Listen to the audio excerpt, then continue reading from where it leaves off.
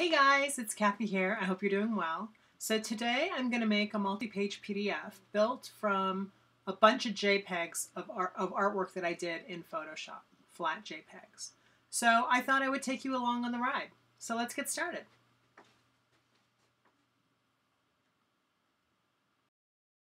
First thing we're going to do is open up our Adobe Acrobat Pro. And Adobe Acrobat Pro is open, so I'm going to go to File, Create PDF, and then you have all these options here. We're going to go down to Merge Files into a single PDF. We get this box which comes up. It asks us if we want a single PDF or a PDF portfolio. I would like a single PDF, please. So I'm going to leave that there. And we're also going to take a look before we bring in any files down here on the file size. So this, the first one, it's like the um, Three Little Bears, right?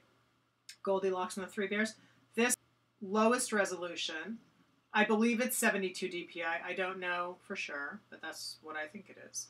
This one I believe is 150 dpi. Um, again, that's a guess, but it's an educated guess. And this one, ta-da, this is the one that we want. It's 300 dpi. It's the highest res that we're going to make here, and this is the one that we want because today I'm making this PDF to copyright a mug release. And when you send your work to the Copyright Office, they want the best resolution possible. And 300 dpi is print resolution at 100%. So there you go. So now we're going to go to the upper left-hand um, box where it says Add Files. So I'm going to navigate to our files that we're going to put the JPEGs. These are flat JPEGs that I created the artwork in Photoshop. This is all of my Photoshop artwork. And I'm going to click on Add Files. So you see this pop this box is populated with all of my files. So I just deselected them all. Um, let's say that I want to move some of my files because they're in the wrong order. So I will just select them by hitting Shift and clicking on them. And then I will move them up or down at will with using the buttons on the left, like that. And now I think we're in good shape. We can combine our files and we can create our PDF. So now our PDF is created, and I'm going to name it Mug Release 02 11 17 Test 1. I'm going to hit save on that. And as you can see, it's saving file down here in the lower right hand corner. You can see it's saving. So now I'm just going to run through and see how cool my PDF is. I love to look at everything all in the same PDF is so nice. So I'm going to save it again just to be extra, extra sure that it's saved. Because PDFs can be weird sometimes. Not want to save and if you name them wrong or something. So, okay, so now I'm going to close this and I'm going to reopen it. Go back to Adobe Acrobat. I'm going to open recent file, mug release, test one. Now I'm going to go to advanced. Okay. I bet you're asking me why I just shut that file after I saved it and reopened it. It's because Acrobat can be finicky. It's because the next step that I'm going to do is I'm going to optimize the PDF. What that means is I'm going to compress the file information within the PDF using some tools in Acrobat. And what's going to happen is it's going to shrink the file size down while not changing the image quality or changing it very, very, very, very slightly. Um, so slightly that you honestly wouldn't even notice. But this is a really good step to do. And sometimes if you don't shut the file and reopen it again, um, Acrobat tends to get confused and it won't save your file and or at least on my machine it won't. So I like to be extra sure and shut it and reopen it again. So now I'm going to, I have my file open, I'm going to advanced. I'm going to PDF Optimizer under advanced, dot, dot, dot. And here are the options I have. We have a box that comes up. We have images, fonts, transparency, discard objects, discard user data, and clean up. So the first one is images. Um, these sometimes default to different numbers. This is going to be a 300 dpi PDF. I don't want it any more and I don't want it any less. So I am making it bicubic downsampling to 300 ppi for images above 300 ppi. So there's no, it's not going to get confused. And here you have the um, you have the option of changing the quality. I'm leaving it at maximum because really I want this to be a really nice, sharp, good PDF at the the smallest I can make it for being maximum quality. But your mileage may vary. You might want to change that up. Fonts. I don't have any fonts embedded. Um, I'm keeping this checked. Do not unembed any font because I actually did put a layer of text on my Photoshop JPEGs, and sometimes we don't know how this magic happens. or maybe it's the opposite of magic, but sometimes different software will put these little objects and these little invisible data in your files and it will bump up the file size unbeknownst to you and then you will end up with this gigantic PDF and you have no idea why it's so large. And this PDF optimizer going through all these is going to help you with that. It's going to remove a lot of these objects and um, kick them out and dust out the room and clean up your PDF, flatten stuff that needs to be flattened, and and so everything's going to be great. So um, if you did have fonts, you know, and you don't want them to be you know selectable and stuff, then you will go to do not unembed any font because we don't need the fonts. Un, um, I'm confused now. Do not unembed. Okay, yeah. We don't need unembedded fonts. this is all images we're using here. Okay, transparency, low, medium, high. I'm actually going to turn this off just because my images are not transparent and I don't want to confuse I don't want to confuse Acrobat and make things harder on myself and add to the file size by having that option on. Um, the next one is discard objects. So just about all of these, I have a flat JPEGs. Flat are JPEGs. There's no text um, that needs to be selectable. There's no, it doesn't need to be a fillable PDF.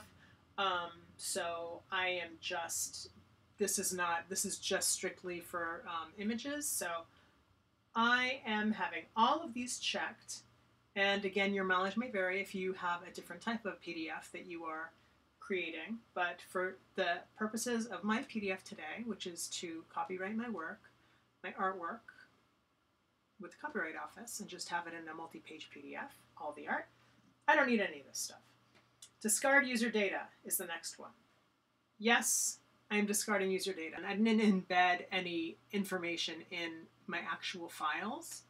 Um, if you if you did that, if you when if you were in Photoshop or in another um, software and you were building your images to bring in here, and you had put in you know file information where you can do that in the software, um, you would want to um, make sure that you aren't going to remove that by having one of these checked. But that's basically what this is all about. And then the final one is cleanup object. So I don't really know what's going on with this. I'm compressing document structure because that was the default, and that seems to work for me. I don't usually mess with. So then we have these options, and I actually don't want to optimize the PDF for fast web view, so I'm going to turn that one off. The rest of it, I think I can leave checked. So I'm going to hit OK now and hold my breath. And I'm going to name this one Test 2. I'm just changing the number at the end. So what I can do is go back and look and see how, how much I was able to reduce my file size. So mug release test 2. and I'm going to save that. Okay, are you guys ready to see the fruits of your labor now? All that work we just did in Adobe Acrobat, I want to see how much it's going to pay off between Test 1 PDF and Test 2 PDF. We crunched our PDF, made the file size smaller, and now we're going to see what the numbers look like. So let's do that. So the Mug Release Test 1 PDF, the original size of the PDF was 114.9 megabytes. That's a pretty hefty PDF. Hopefully we got the numbers down a little bit. So let's look at test 2. Test 2 PDF. Oh my gosh, it's 46.1 megabytes. We have reduced the file size of this PDF over 100%. That's pretty awesome. Pretty awesome. But you know what? We need to check the quality of the PDF we want to look at the quality in Acrobat and see the actual files and see if we have any weird little changes in the graphic. So on the top we have test one and I have this at 100%. And as you can see, it's nice and clean. It's as I intended. I like a little bit of a crunchy line. That's that's what I like, and this looks good. There's really no artifacting that Photoshop does when it blurs and squishes and messes up the little edges of your images, of your line. And now let's look at test two. This is the one that's over 100% smaller. And I honestly can't see a difference here. I'm going to make it bigger. This is over 100%. And this is not the way it's going to print because this is more than 100%. Sorry, every time I click on that, it turns blue. Um, but look at this. So this looks pretty much exactly the same. We're going to go back to 100% now. And they look identical to me. And we're artists and we're very, very visually picky. So we're looking for this stuff. And these look great to me.